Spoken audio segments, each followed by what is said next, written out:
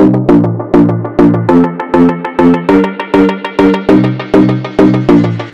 mừng các bạn đã quay trở lại với kênh YouTube Excel Việt Nam và đến với chủ đề ngày hôm nay thì mình sẽ hướng dẫn cho các bạn cái cách mà sắp xếp dữ liệu theo giải ô. Thông thường thì đây là một chức năng rất là cơ bản nhưng mình thấy rằng là không phải ai cũng nắm được cái thông tin này. Nếu mà các bạn cứ follow cái kênh YouTube Excel Việt Nam của mình thì mỗi ngày mình sẽ có thêm những cái tips hoặc là những video clip để coi như là giúp cho các bạn ngày càng master hơn. Vì vậy hãy ủng hộ mình nhé.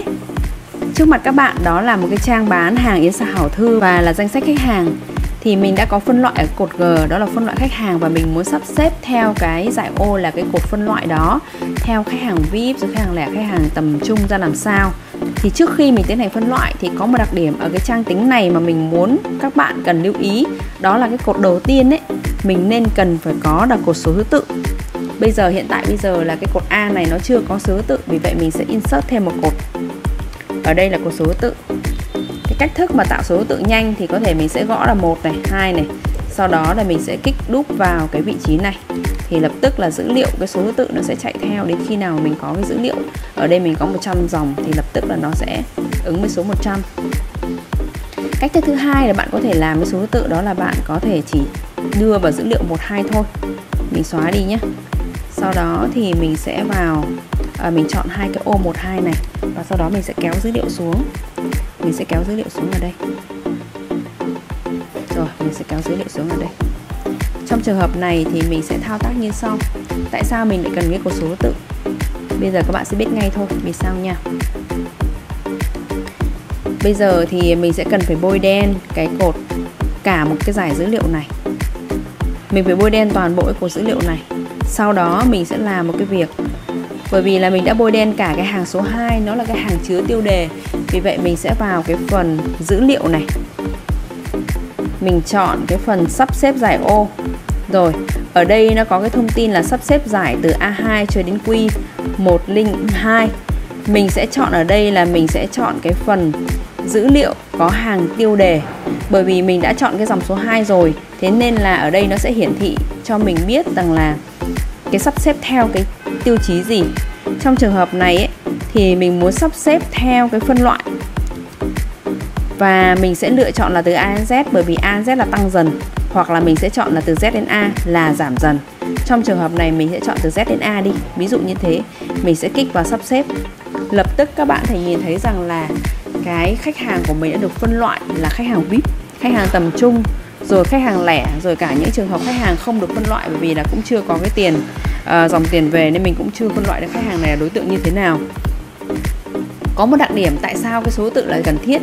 Bởi vì cái cột số tự này nó cũng được di chuyển và thay đổi xáo trộn theo cái uh, tiêu chí mà phân loại ở cái cột H này đã được thay đổi rồi. Trong trường hợp mấy cột số tự này rất là quan trọng.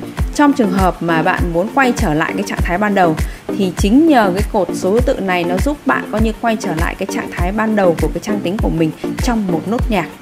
Thì cái việc bạn quay trở lại như sau bạn sẽ tiếp tục uh, bôi đen cái bảng tính này bôi đen cái giải ô này. Rõ ràng là mình vẫn đang bôi đen cái giải ô này, vì vậy mình sẽ tiếp tục mình vào cái phần dữ liệu này. Lần này mình sắp xếp theo giải ô này, và mình chọn là cột thứ tự. Mình cột chọn cột thứ tự, và trong trường hợp này mình sẽ chọn tăng dần. Mình kích vào sắp xếp, lập tức là mình đã quay trở lại cái trạng thái ban đầu. Vậy là bạn đã biết vì sao cái cột số tự này quan trọng chưa? Nó sẽ giúp bạn có thể quay trở lại một trạng thái ban đầu của trang tính mà bạn không cần phải dùng nhiều cái nút back ở đây không cần nhiều cái nút hoàn tác bạn chỉ cần có một cột số tự. Và cho dù là bạn có sắp xếp giải ô như thế nào chăng nữa thì bạn vẫn có thể quay trở về trong một nốt nhạc. Ok, bây giờ chúng ta sẽ cùng bước sang một cái phần thực hành thứ hai của cái phần sắp xếp. Cái giải ô này là trong trường hợp là cái nhu cầu của bạn ấy không chỉ là sắp xếp một cái tiêu chí mà bạn lại còn muốn sắp xếp theo nhiều tiêu chí. Chẳng hạn như là bạn vừa muốn sắp xếp theo tổng số tiền này từ cao xuống thấp và bạn cũng muốn sắp xếp theo là cái mã khách hàng này từ thấp đến cao. Thì trong trường hợp này mình sẽ làm như sau. Mình sẽ chọn cái giải ô này của mình. Mình vào cái phần dữ liệu này. Sau đó mình sắp xếp giải ô. Mình vẫn có cái dữ liệu có hàng tiêu đề. Trong trường hợp này mình sẽ ưu tiên sắp xếp theo cái phần cột tổng tiền trước. Và cột tổng tiền này mình sắp xếp theo chiều giảm dần sau đó mình lại tiếp tục ưu tiên theo cái chiều về mã khách hàng. Mã khách hàng đây. Sau đó mình lại sắp xếp theo chiều tăng dần. Đó là hai cái tiêu chí mà mình kết hợp với nhau. Mà mình sắp xếp ở đây. Vậy thì bạn đã nhìn thấy ở đây chưa? Cái tổng tiền của mình đã được giảm dần. Cái cột G này, cái tiêu chí tổng tiền nó giảm dần. Và cái số thứ tự mã khách hàng của mình là tăng dần nó ưu tiên cái tổng tiền trước. Rồi những cái số tiền mà nó tương đương nhau thì bắt đầu nó sẽ ưu tiên là mã khách hàng nào đến trước thì nó sắp xếp trước. Và trong trường hợp này, nếu mà mình muốn quay trở lại thì mình chỉ cần vào phần dữ liệu, mình sắp xếp giải ô và mình lại chọn cái thứ tự của mình, quay trở về trong một nốt nhạc. Đấy, ok. Vậy thì các bạn đã trải qua cái việc mà sắp xếp giải ô trong trường hợp là nếu là dạng văn bản này, hay trong trường hợp nó là dạng số này và trong trường hợp mà mình đã kết hợp những cái giải ô sắp xếp với nhau mình hy vọng rằng cái clip này nó sẽ là một cái hướng dẫn đầy đủ cho các bạn trong cái việc mà nghĩ đến cái việc giải ô sắp xếp ra làm sao thì các bạn sẽ biết cách. Và các bạn đừng quên là chúng ta sẽ luôn luôn cần có một cái cột số tự ban đầu các bạn nhé.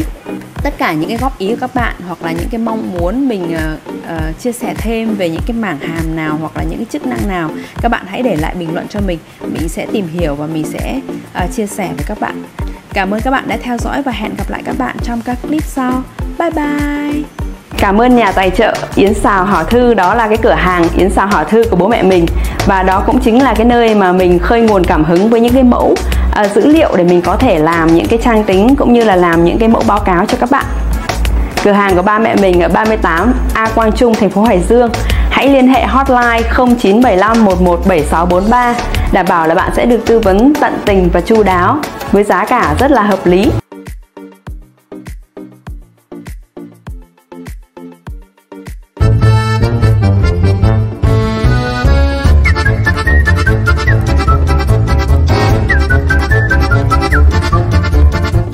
Chào mừng các bạn đã quay trở lại với kênh YouTube Excel Việt Nam và đến với chủ đề ngày hôm nay thì mình sẽ hướng dẫn cho các bạn cái cách mà sắp xếp dữ liệu theo giải ô. Thông thường thì đây là một chức năng rất là cơ bản, nhưng mình thấy rằng là không phải ai cũng nắm được cái thông tin này. Nếu mà các bạn cứ follow cái kênh YouTube Excel Việt Nam của mình thì mỗi ngày mình sẽ có thêm những cái tips hoặc là những video clip để coi như là giúp cho các bạn ngày càng master hơn. Vì vậy hãy ủng hộ mình nhé. Trước mặt các bạn đó là một cái trang bán hàng Yến Xà Hảo Thư và là danh sách khách hàng thì mình đã có phân loại ở cột G, đó là phân loại khách hàng và mình muốn sắp xếp theo cái giải ô là cái cột phân loại đó theo khách hàng VIP rồi khách hàng lẻ, khách hàng tầm trung ra làm sao. Thì trước khi mình tiến hành phân loại thì có một đặc điểm ở cái trang tính này mà mình muốn các bạn cần lưu ý, đó là cái cột đầu tiên ấy, mình nên cần phải có là cột số thứ tự. Bây giờ, hiện tại bây giờ là cái cột A này nó chưa có số thứ tự, vì vậy mình sẽ insert thêm một cột. Ở đây là cột số thứ tự. Cái cách thức mà tạo số thứ tự nhanh thì có thể mình sẽ gõ là một này, hai này. Sau đó là mình sẽ kích đúp vào cái vị trí này thì lập tức là dữ liệu cái số thứ tự nó sẽ chạy theo đến khi nào mình có cái dữ liệu. Ở đây mình có 100 dòng thì lập tức là nó sẽ ứng với số 100 cách thức thứ hai là bạn có thể làm với số thứ tự đó là bạn có thể chỉ đưa vào dữ liệu 12 thôi. Mình xóa đi nhé sau đó thì mình sẽ vào à, mình chọn hai cái ô 12 này và sau đó mình sẽ kéo dữ liệu xuống. Mình sẽ kéo dữ liệu xuống ở đây. Rồi mình sẽ kéo dữ liệu xuống ở đây trong trường hợp này thì mình sẽ thao tác như sau. Tại sao mình lại cần cái cột số tự? Bây giờ các bạn sẽ biết ngay thôi, vì sao nha.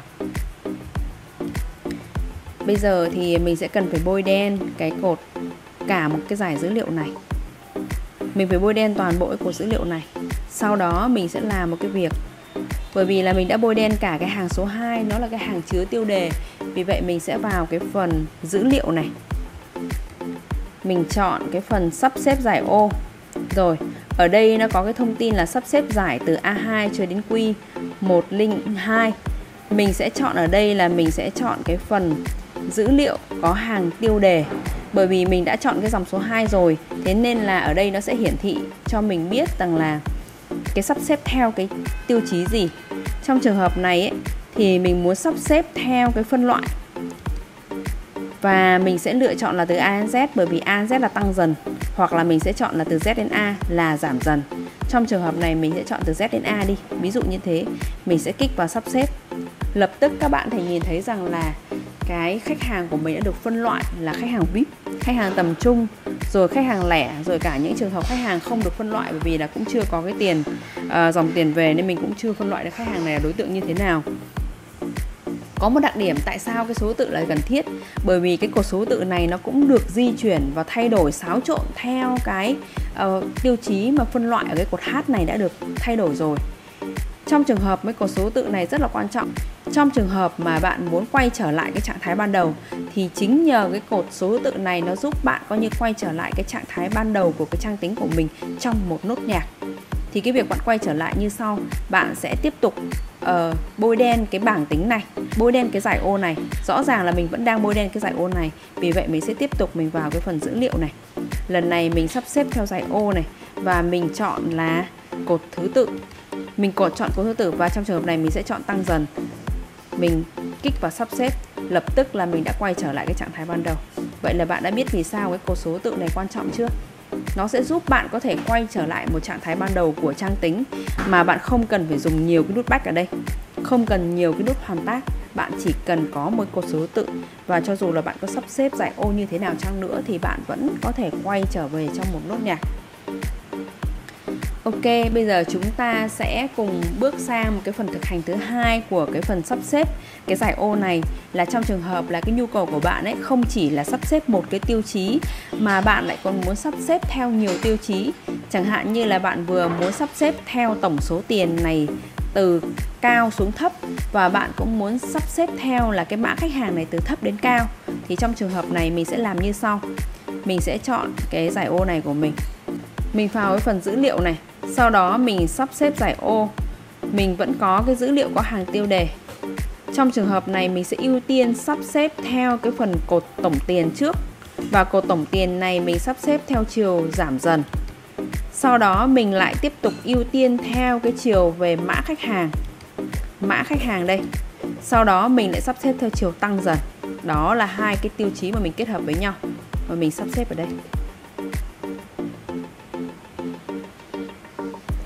Vậy thì bạn đã nhìn thấy ở đây chưa? Cái tổng tiền của mình đã được giảm dần. Cái cột G này, Cái tiêu chí tổng tiền nó giảm dần. Và cái số thứ tự mã khách hàng của mình là tăng dần. Nó ưu tiên cái tổng tiền trước. Rồi những cái số tiền mà nó tương đương nhau Thì bắt đầu nó sẽ ưu tiên là mã khách hàng nào đến trước Thì nó sắp xếp trước. Và trong trường hợp này, nếu mà mình muốn quay trở lại thì mình chỉ cần vào phần dữ liệu, mình sắp xếp giải ô và mình lại chọn cái thứ tự của mình, quay trở về trong một nốt nhạc. Đấy, ok. Vậy thì các bạn đã trải qua cái việc mà sắp xếp giải ô trong trường hợp là nếu là dạng văn bản này, hay trong trường hợp nó là dạng số này. Và trong trường hợp mà mình đã kết hợp những cái giải ô sắp xếp với nhau, mình hy vọng rằng cái clip này nó sẽ là một cái hướng dẫn đầy đủ cho các bạn trong cái việc mà nghĩ đến cái việc giải ô, sắp xếp ra làm sao thì các bạn sẽ biết cách. Và các bạn đừng quên là chúng ta sẽ luôn luôn cần có một cái cột số tự ban đầu các bạn nhé tất cả những cái góp ý của các bạn hoặc là những cái mong muốn mình uh, uh, chia sẻ thêm về những cái mảng hàm nào hoặc là những cái chức năng nào các bạn hãy để lại bình luận cho mình. Mình sẽ tìm hiểu và mình sẽ uh, chia sẻ với các bạn. Cảm ơn các bạn đã theo dõi và hẹn gặp lại các bạn trong các clip sau. Bye bye! Cảm ơn nhà tài trợ Yến Xào Hỏ Thư. Đó là cái cửa hàng Yến Xào Hỏ Thư của bố mẹ mình. Và đó cũng chính là cái nơi mà mình khơi nguồn cảm hứng với những cái mẫu À, dữ liệu để mình có thể làm những cái trang tính cũng như là làm những cái mẫu báo cáo cho các bạn. Cửa hàng của ba mẹ mình ở 38 A Quang Trung, thành phố Hải Dương. Hãy liên hệ hotline 0975 117643 đảm bảo là bạn sẽ được tư vấn tận tình và chu đáo với giá cả rất là hợp lý.